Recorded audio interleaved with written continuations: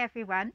I already talked about preparing for your first day at home with your greyhound and that first day with them at home.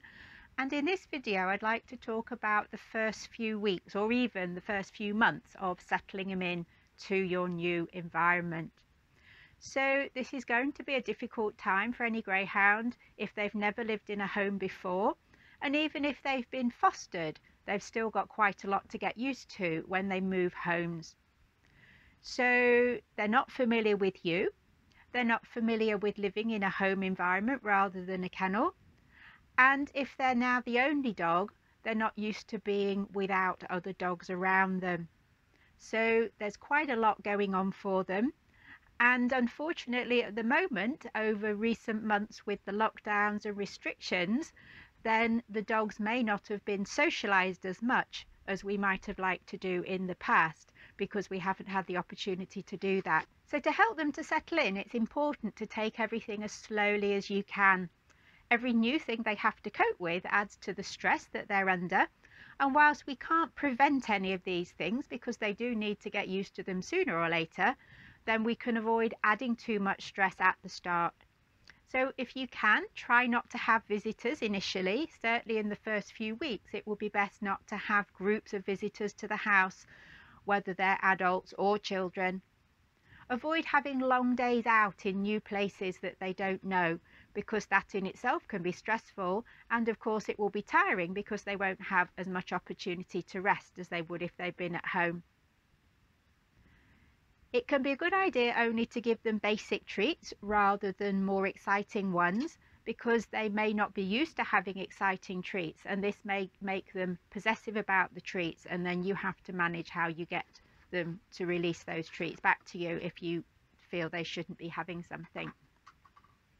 And of course, just as we need plenty of sleep to help us feel good, so do the dogs. So allow plenty of time with quiet, restful situations so they can sleep and feel better later.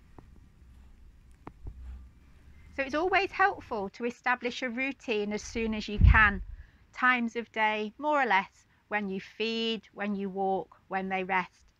Stick to short local walks to help them become familiar with the walks around them, the dogs you might meet at that time, and the sights and the sounds of their new environment. It pays to take time just to stand and watch or to let them sniff so they can take in everything that is new to them and it can start to become more familiar. You might like to use a calming spray that you could spray onto a cloth or onto you for that matter before you go for a walk. And back at the house, you can use a calming spray, you could use background music, as well as setting up a safe space such as a crate or a secluded corner or a playpen that is theirs when they need to take some time out. Be prepared for tummy upsets as well Greyhounds seem quite prone to this, and in those early days when they're feeling worried, then stress can cause an upset tummy and loose stools. I would stick to the recommended food to start with and avoid any rich treats that might make their tummy worse.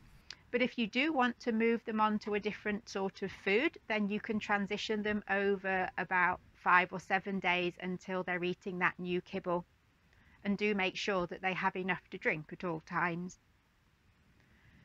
If they have a very upset tummy, then try chappie and rice or egg and rice for a few days and begin to reintroduce the kibble slowly and see how they do. There is firming paste and tablets available from pet shops or online that can be helpful.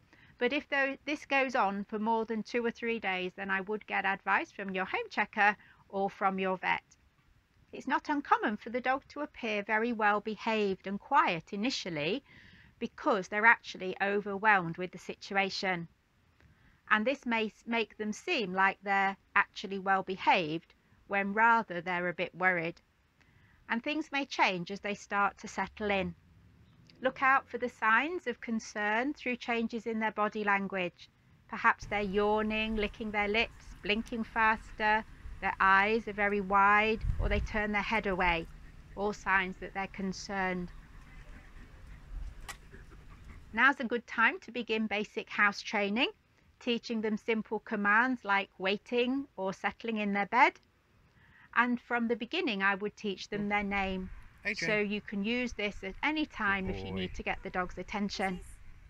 The first few weeks is also a time to help them begin to get the idea of being alone and understanding that you're going to come back as well.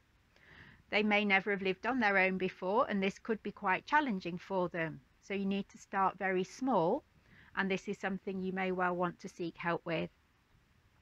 But don't always rely on social media. Use your support network by talking to your home checker or asking for a behaviour consultation. It's much better to act sooner rather than later because if small problems arise, they're much easier to deal with than if you allow them to grow. So I hope you found that useful, talking about the first few weeks or even the first few months for your greyhound in your new home as part of your family. We'll be back again soon with more videos for you. Bye for now.